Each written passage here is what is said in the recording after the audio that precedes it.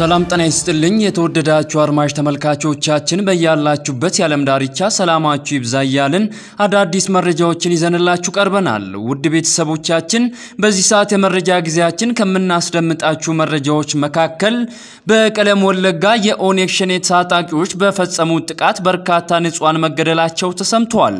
ይህን በማስመልከት ጠቅላይ ሚኒስትር ዶክተር አብይ አህመድ እና የተለያዩ ግለሰቦች ድርጊቱን እያወገዙት ይገኛሉ። ይህን በተመለከተ የተሰማውን መረጃ በዝርዝር የምናስደምጣችሁ ይሆናል። በሌላኛው ለቀናት ተሰውሮ የነበረው ገጣሚ ትናንት ወደ ቤቱ ስለመመለሱ የተሰማውንና የእናት ፓርቲ ከህወሓት ጋር ስለሚደረገው ድርድር በማስመልከት ያወጣውን ጥብቅ መግለጫ በመረጃችን አካተናል። ታደምጡታላችሁ። ውድ ቤተሰቦች እነዚህንና ሌሎች በርካታ አጫጭር መረጃዎችን ወደ እናንተ የምናደ ደርስ ይሆናል። እስከ መረጃችን ፍጻሜ አብራችሁን እንድትቆዩ የአክብሮት ግብዣዬ ነው። አብራችሁን ቆዩ። ቅድሚያ ካደረግነው መረጃ ስንጀምር በቀለም ወለጋ ጭፍጨፋ በትንሹ 150 ሰዎች መገደላቸው ተገለጸ። ቢቢሲ አፍሪካ ትናንት ማምሻውን ይዞት በወጣው ዘገባ በኦሮሚያ ክልል ሀዋ ገላን ወረዳ በተፈጸመው ጥቃት በትንሹ 150 ሰዎች መገደላቸውን ገልጿል። ቢቢሲ አፍሪካ የዓይን እማኞች ጥቃቱ በሀዋላ ገላን ወረዳ መፈጸሙን እንደገለጹትና በአካባቢው ላይ በሚኖሩ የአማራ ተወላጆች ላይ ያነጣጠረ እንደነበርም አክለዋል። አሸባሪውን የሸኔ ቡድን እስከ መጨረሻው ተከታትለን ከህዝባችን ጋር እናስወግዳለን ሲሉ ጠቅላይ ሚኒስትር ዶክተር አብይ አህመድ ገለጹ። ጠቅላይ ሚኒስትር ዶክተር አብይ አህመድ የጸጥታ አካላት ከሚያደርሱበት ዱላ የፈረጠጠው አሸባሪው የሸኔ ቡድን እስከ መጨረሻው ተከታትለን ከህዝባችን ጋር እናስወግዳለን ብለዋል። ጠቅላይ ሚኒስትሩ አሸባሪው ቡድን በቀለም ወለጋ በሚገኙ ዜጎች ላይ በፈጸመው ጭፍጨፋ ማዘናቸውንም አስታውቀዋል። የሽብር ቡድኑ የሚወሰድበትን እርምጃ መቋቋም ባለመቻሉ በምዕራብ ወለጋ በዜጎች ላይ አደጋ እያደረሰ በመሸሽ ላይ መሆኑን ጠቅላይ ሚኒስትሩ ገልጸዋል። በዚህም በኦሮሚያ ክልል ቀለም ወለጋ ውስጥ የሚገኙ ዜጎች ጭፍጨፋ እንደተፈጸመባቸው ነው ጠቅላይ ሚኒስትር አብይ አህመድ የገለጹት። ጠቅላይ ሚኒስትሩ በዜጎቻችን ላይ በደረሰው መከራ እያዘንን ይህንን አሸባሪ ቡድን እስከ መጨረሻው ተከታትለን ከህዝባችን ጋር እናስወግዳለን ሲሉም አረጋግጠዋል። በሌላኛው የኢትዮጵያ ሰብአዊ መብቶች ኮሚሽን በኦሮሚያ ክልል ቀለም ወለጋ ዞን በሀዋ ገላን ወረዳ ላይ ቁጥራቸው ያልተረጋገጠ ንጹሃን ዜጎች ላይ የጅምላ ጭፍጨፋ መፈጸሙን ሪፖርት እንደደረሰው ገልጿል። ኮሚሽኑ እውነታውን እየተከታተለ መሆኑንና ከአካባቢው ተርፈው የሸሹ ሰዎችን ማነጋገሩን አመላክተዋል።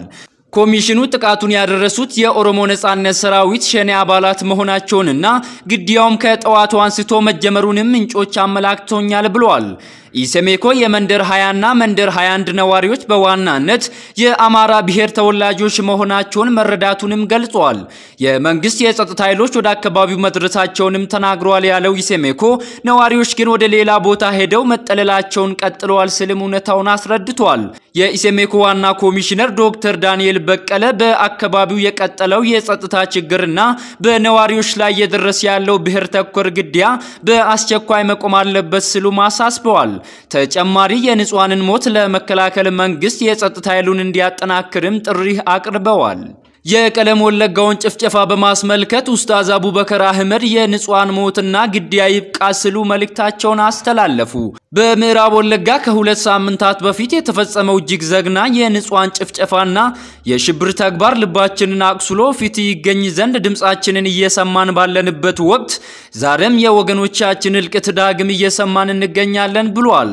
በቀለም ወለጋ ዞን ሀዋ ገላን ወረዳ ለምለም ቀበሌ ውስጥ መንደር ሀያ ተብሎ በሚጠራው አካባቢ በድጋሚ በአካባቢው የሚንቀሳቀሱ ታጣቂዎች ንጹሃንን ኢላማ ያደረገ ጭፍጨፋ ፈጽመዋል። የክልሉና የፌዴራሉ የጸጥታ ኃይሎች ንጹሃንን በዚህ መልኩ በጅምላ እየተጨፈጨፉ የእነዚህን ሽብር ፈጻሚ ኃይሎች መቆጣጠር አለመቻል እንደ ሀገር ትልቅ አደጋ ውስጥ እንዳለን ይሰማኛል ብለዋል ኡስታዝ አቡበከር። ንጹሃንን ኢላማ አድርጎ ብሔርንና እምነትን እየተለየ የሚፈጸመው እልቀት ከጊዜያዊ ሐዘን መግለጫ በዘለለ በዘላቅነት መፍትሄ ሲሰጠው እያየን አይደለምም ብለዋል።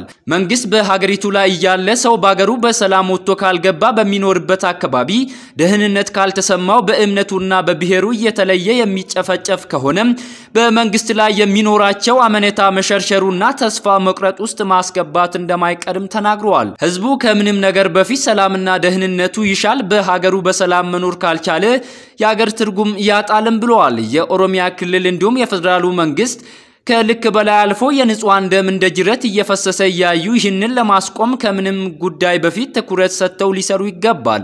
በክልሉ ያሉ አባገዳዎች፣ የአገር ሽማግሌዎች፣ የሃይማኖት አባቶች፣ የፖለቲካ ፓርቲዎች፣ የክልሉ ሕዝብ በአጠቃላይ የሰው ልጆች የግፍ ግድያ የሚሰማ ሁሉ ከማንም በፊት በክልሉ የተንሰራፈፈውን የንጹሐን ጭፍጨፋና ግድያ እንዲቆም በቃ ብለው ከሌላው የአገሪቱ ሕዝብ ጋር በጋራ ሊንቀሳቀስ ይገባል ብለዋል ኡስታዝ አቡበከር አህመድ።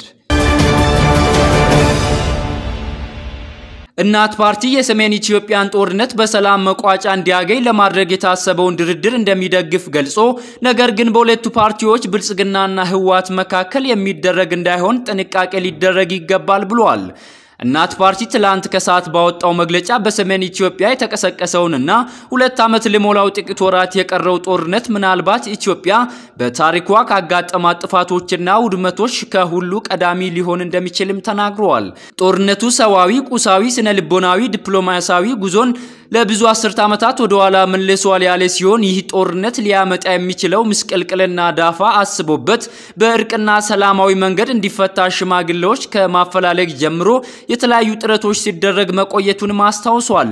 አሁንም ያ ውድመትና ውርድ እንወራረድ ዳግም እንዳይከሰት ጦርነቱ በድርድር ለመፍታት የታየው መነሳሳት በደስታ የሚመለከት ኩነት መሆኑንም ገልጸዋል። በመጀመሪያ ችግሩ እንዳይከሰት ብንከላከል ጥሩ ነበር። ከተከሰተ በኋላም የውጭ አካል ገብቶ በድርድር መልክ ከሚፈታ ይልቅ በሀገረው ባህል በእርቅና ይቅርታ ቢፈታ መልካም ነበር ሲልም ገልጸዋል።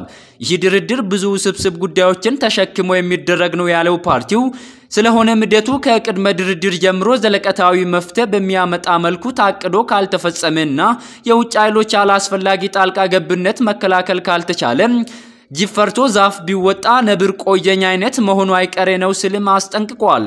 ፓርቲው ለድርድሩ ውጤታማነት ወሳኝ ናቸው ያላቸውን ነጥቦች አንድ ባንድ በዝርዝር በመግለጫው አስቀምጧል። በመጨረሻም ገጣሚ በላይ በቀለ ወያ መፈታቱ ተሰምቷል። ለቀናት ተሰውሮ የነበረው ገጣሚ በላይ በቀለ ትናንት ወደ ቤቱ መመለሱ ታውቋል። ላለፉት ሰባት ቀናት ወዳልታወቀ ቦታ ተወስዶ የነበረው ገጣሚ በላይ በቀለ ወያ ትናንት ማምሻውን ተፈቷል። ገጣሚ በላይ በቀለ አዲስ አበባ ሰኔ 21 ቀን 2014 ዓ.ም ከቀኑ 8 ሰዓት ፈረንሳይ ለጋሲዮን ከሚገኘው ጊዮርጊስ ምግብ ቤት ትፈለጋለህ ተብለው በዛው እንደተወሰደ ለቀናት ተሰውሮ እንደቆየም ይታወሳል። የተወደዳችሁ አድማጭ ተመልካቾቻችን ለሰዓቱ የያዝንላችሁ አጫጭር መረጃዎች እስካሁኑን ይመስላሉ። እስከ መረጃችን ፍጻሜ አብራችሁን ስለቆያችሁ ከልብ እጅግ አድርገን እናመሰግናለን። በሌላ መረጃ እስክንገናኝ መልካም ቆይታ፣ ቸር ያሰማን።